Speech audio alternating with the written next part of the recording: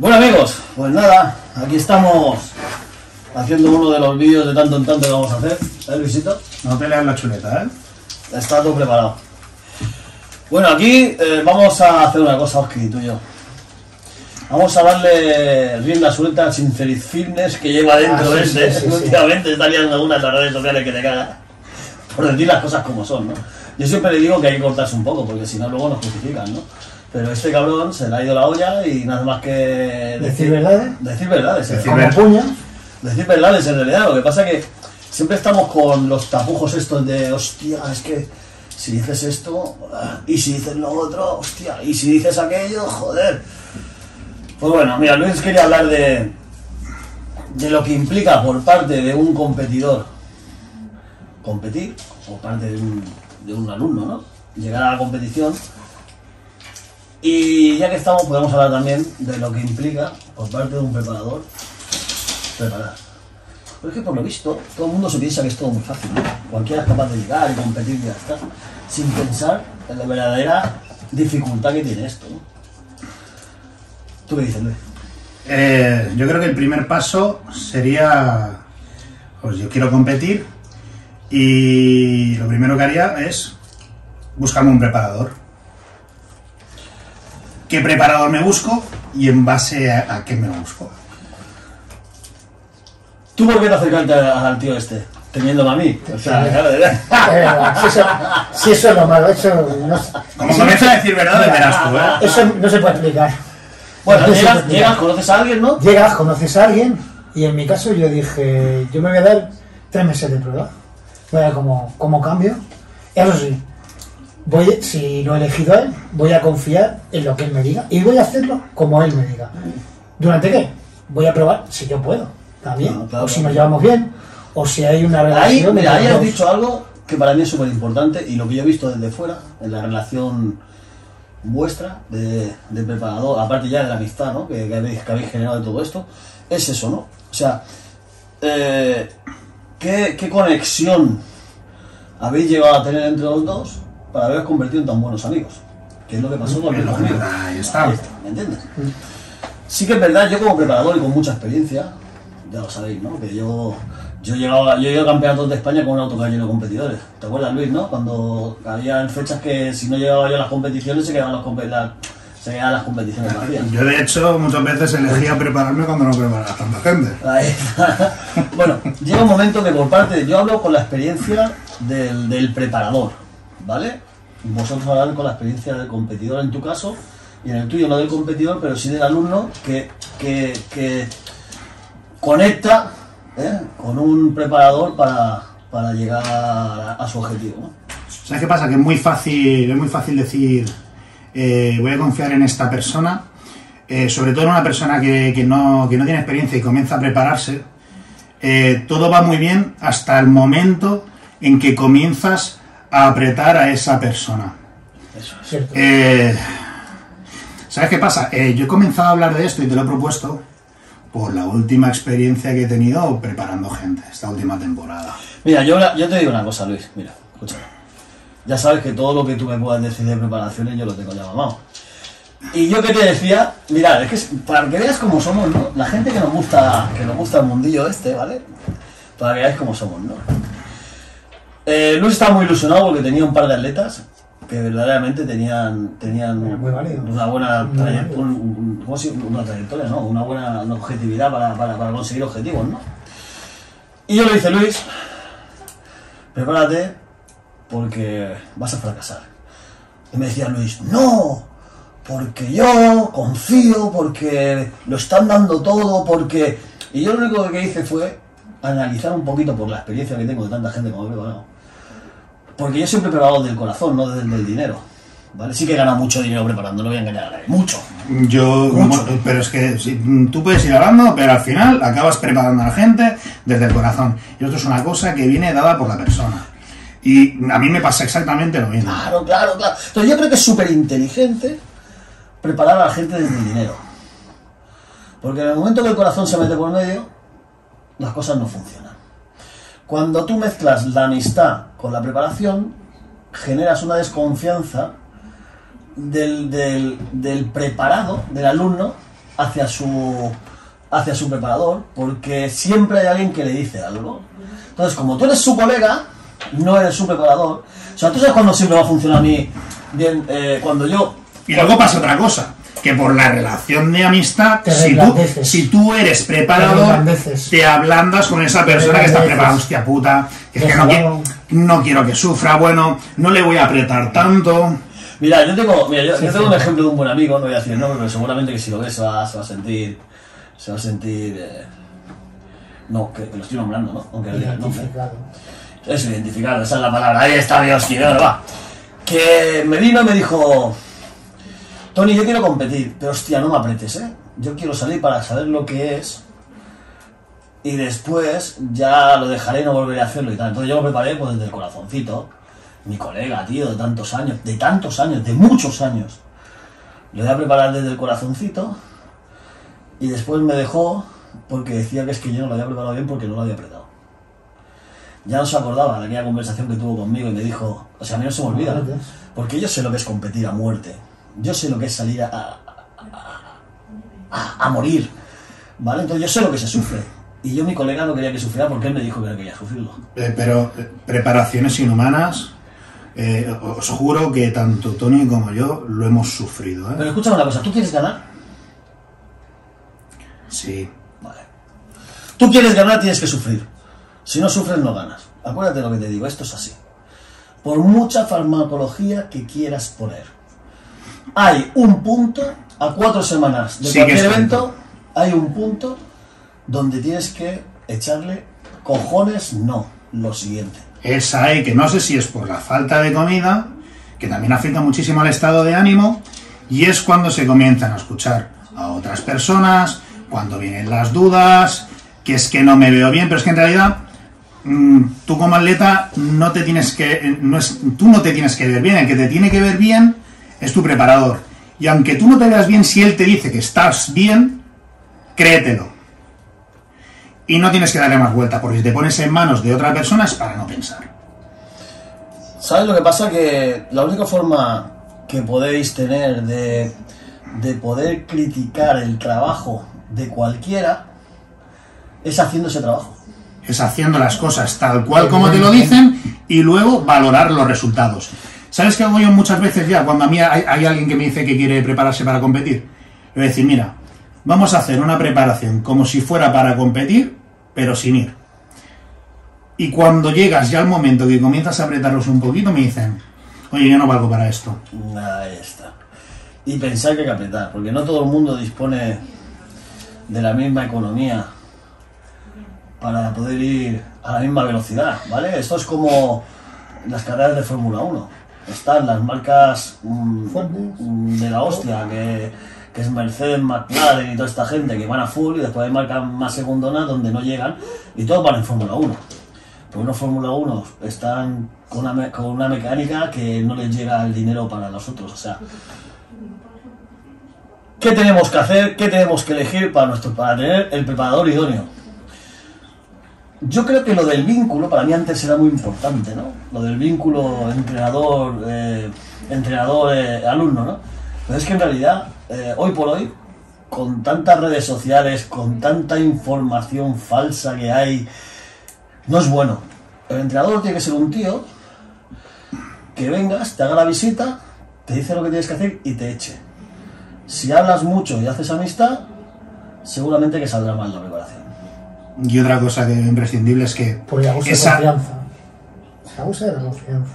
Una cosa que veo imprescindible es que esa persona que te esté preparando haya pasado por la experiencia ya de haber competido y saber lo que es vivir esos momentos tan, tan Es jodidos. que normalmente, cuando una persona queda segundo, te dice, yo tenía que haber ganado. Vale, eso es otra cosa. Yo creo que, yo creo que ahí pasam- pasamos ya, o sea, una vez que yo he elegido a mi, a mi preparador, creo que lo, lo siguiente es establecimiento de objetivos. Y ahí están las expectativas de cada uno. Porque a mí cuando, esto me ha pasado muchas veces, a mí si me preparas es para ganar. Y digo, pues mm, me parece que no te voy a preparar, porque no te lo puedo prometer. Claro, tú no sabes... Porque lo es lo que me dices tú siempre. Yo te prometo que puedes salir en el mejor punto que puedas este año, la mejor forma En que ese- te hayas en visto. ese momento. En ese momento. Eso no significa que te pueda venir otra persona que esté esté mejor. mucho mejor Claro. y te gane. Y eso no significa que ese preparador haya hecho un mal trabajo. Ahí está. No, porque tú compites contra ti, no compites contra los demás. Mira, escúchame, ¿sabes lo que pasa? Y yo te hablo desde la experiencia del competidor también ahora, ¿vale? Cuando te acostumbras a ganar, a mí me ha pasado. Yo siempre, yo he tenido la suerte, y bueno, ahí está todo lo que hay, ¿no? Que la mayoría de las veces que salía a competir he ganado. O he hecho un top 3 siempre, ¿no? Siempre. Entonces cuando, cuando das un paso a un nivel estratosférico como es el tema de los profesionales, y ya no ganas, te pueden pasar dos cosas. Una, la que me pasó a mí, de no saber cuál es el momento de parar, por la obsesión de conseguir algo que no vas a conseguir en primer lugar porque no descansas ni es el momento de, de- de parar para hacer un descanso. O otra, coger, apartarte de una vez, ¿vale? Descansar, mirar la realidad y afrontarte a ella, ¿vale? Todos queremos ganar, eso es así. No puedes competir contra ti mismo. Eso es una cosa que decimos cuando perdemos. Cuando ganamos, no. ¿Entiendes? Ya, Esto es así, tío. Este- Claro, este piensa que es un deporte. Pero tú, tú estás hablando de tu experiencia que llevas un montón de años compitiendo. Yo me refiero que yo, yo creo que te ha pasado un montón de veces. ¿Cuántas veces te ha venido una persona que ni siquiera ha hecho una dieta de definición, ni siquiera para quitarse lo que le sobra, y te está diciendo, Tony, prepara, prepárame para competir, eh, pero si no es para arrasar nada, ¿eh? Mira, a mí también me ha pasado, y te hablo de la experiencia, ¿no? Yo he tenido competidores con un nivel de la hostia. Mira, va, Luis. ¿Vale? Luis, cuando, cuando ha salido a tope, no le ha ganado a nadie, se ha demostrado. Se ha ido, ha ido a europeos y ha ganado europeos. Se ha ido a. Ha hecho top 5 en, mundiales, en, en en todo, ¿no? Es un tío con un físico espectacular en todos los sentidos. Yo creo, bajo mi punto de vista, ahora que no soy Luis, ahora está en el momento de que de verdad podría hacer daño, pero bueno, él, ¿ves? Ahora está en la realidad. Luis ahora está en la realidad. ¿Qué quiere decir la realidad? No está con la obsesión que yo me metí con 32 años en la obsesión de competir, competir, competir, competir, competir y no salir de ello, ¿vale? Que al final está en este momento porque yo le dije, eh, frena, sal de aquí, sé objetivo, mira desde fuera y después decides. ¿Vale? Entonces él salió del. porque estabas, estabas, estabas cegado. De la última vez que Estaba- saliste. estaba cegado. Estabas cegado. Estaba cegado, sí. Estaba muy cegado. Entonces yo le dije, eh, espera, entonces ¿qué ha hecho? Yo soy inteligente. Por eso mm, yo lo envidio, no haber tenido a alguien que me dijera a mí, Tony, echa el freno, mira las cosas desde otro punto de vista, espérate, que llegará el momento de, de, de- de poderlo afrontar bien, ¿no? Y Luis lo ha hecho. Y ahora me da rabia, porque lo está mirando también el cabrón, que es que no ve el momento de empezar, y tiene que empezar ya, Luis. No, pero te voy a decir una cosa, hay algo que es muy bueno.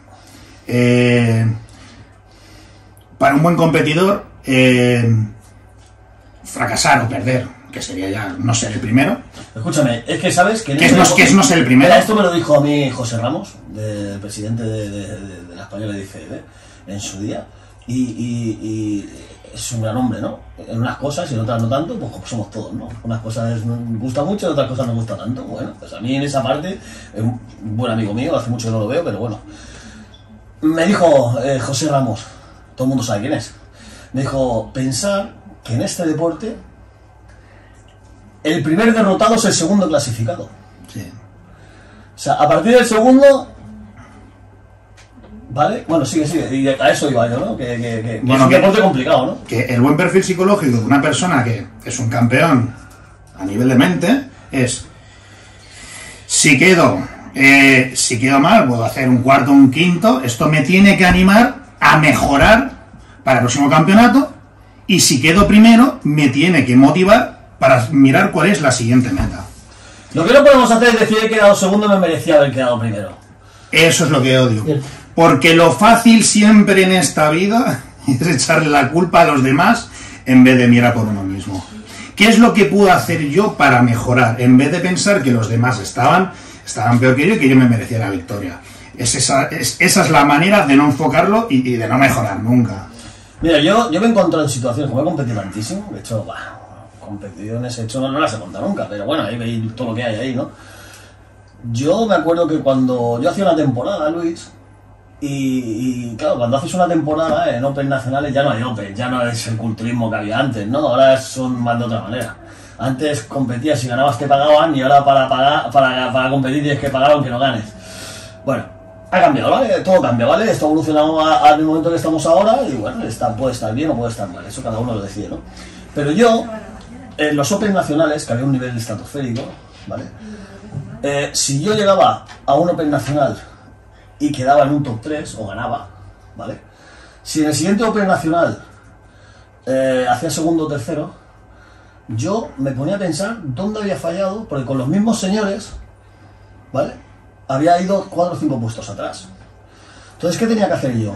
Pararme, enfocar, qué he hecho bien, qué he hecho mal, cuánto cardio me ha faltado, en qué he comido más, en qué he comido menos, qué entreno me he saltado, qué es lo que tenía que haber hecho, qué no he hecho, lo he arreglado y he vuelto a ese puesto en el que merecía. Entonces, si tú sales a competir y quedas segundo, en vez de decir es que yo tenía que haber ganado porque lo merezco porque yo era mejor, tienes que decir, a ver, ¿qué tiene esa persona? Porque en el próximo campeonato la vas a encontrar otra vez. ¿Vale? Porque las temporadas van así. Puede salir alguien, pero las posibilidades son muy bajas.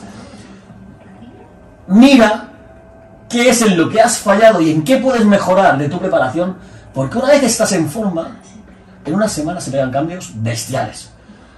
Y ese fallo, que tú lo sabes, que lo has hecho, no él, que es el preparador, tú eres el que sabes en lo que has fallado. Si no lo vuelves a cometer, triunfarás. ¿Vale? Y no te creas que poniéndote en manos de otro va a ser mejor, porque seguramente va a ser peor. ¿Por qué? Porque este señor ya te tiene el hilo cogido y sabe en el momento que estás y cómo estás. Y si en ese momento te vas a las manos de otro, va a ser peor, porque esa otra persona no es que no sepa, es que no te tiene por la mano. ¿Sí o no, Luis? Cierto, cierto. Conclusión, sincero y fitness, suéltala. Conclusión no estaba, yo estaba, yo estaba pensando ya en los siguientes pasos. ¿Sí? O sea, elijo preparador, decido prepararme, ya me están apretando la dieta, eh, estamos mirando ahora resultados. ¿Cuál sería el siguiente paso? Toma, la bueno, toma reflexiones, ¿no? Hacer reflexiones, que es lo que estamos hablando ahora, y yo creo que ¿qué más queda? ¿Me estoy dejando algo? Es que en realidad, ¿sabes lo que pasa? Que yo me he llevado tantísimas alegrías con esto y tan pocas decepciones, pero pensar que en la vida las decepciones siempre superan las alegrías. Entonces, eh, me hay mucha gente que me dice, no veas el Tony, con la de gente que preparaba ya no prepara nadie, está acabado. No, el Tony no está acabado. Lo que el Tony valora ahora las cosas de otra manera y piensa que esa implicación tan grande que hacía con la gente no le merece la pena. El Tony no quiere preparar gente y yo le tengo que convencer.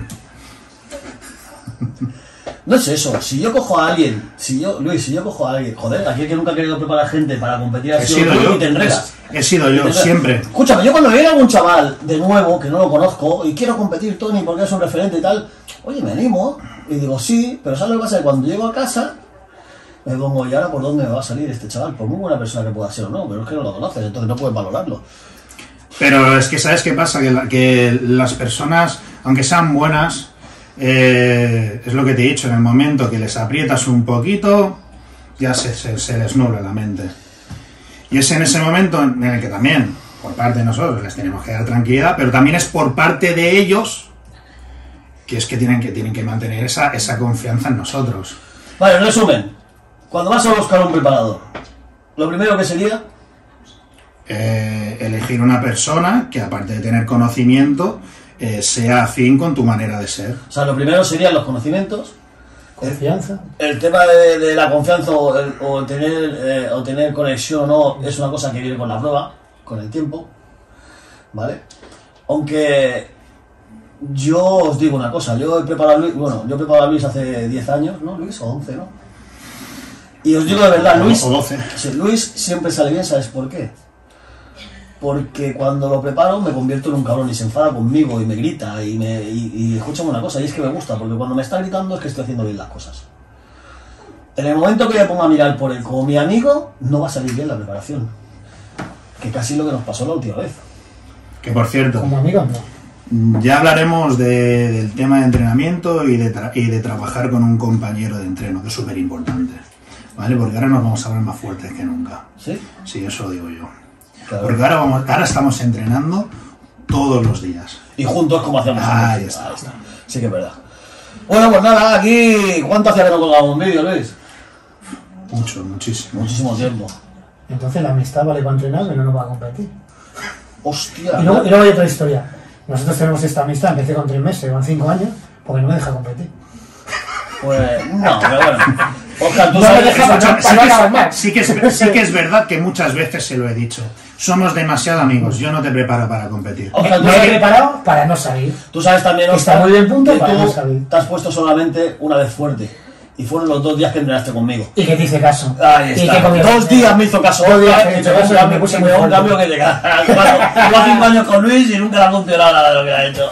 Por eso estoy pensando. Bueno, mirad, eh, Elegir competidor en base a conocimiento y confianza. Establecimiento de objetivos, que es muy importante, que por cierto, tenemos por, por ahí un vídeo colgado que estuve hablando sobre establecimiento de objetivos. Eh, después de eso, el curso de toda la preparación, mantener esa confianza en ese preparador eh, y aparte de pensar en lo que puede hacer el preparador por ti, pensar en lo que tú puedes hacer por él. ¿eh? Que esto es una cosa que es... eh, Recíproca. Exacto. recíproca. Bueno, pues nada, eh, esperamos que a lo mejor no, pero a lo mejor sí hemos solucionado algunas dudas que podían haber sobre el tema, que lo hemos hablado muchas veces. Os animamos a hacer preguntas. Poned las preguntas aquí debajo, porque Luis es el que se las lee, yo no, yo estoy desconectado. Sí, claro, sí. Luis es el jefe, que al final es el que manda, porque yo ya estoy jubilado. Y Luis- Sí, pero él hace likes en todos los comentarios, ¿eh? Pero no se lee ninguno, ¿eh? Bueno amigos, hasta el próximo que será, ya sabemos ¿Quién sabe? ¿Vale? Cuando toque. Fuerza.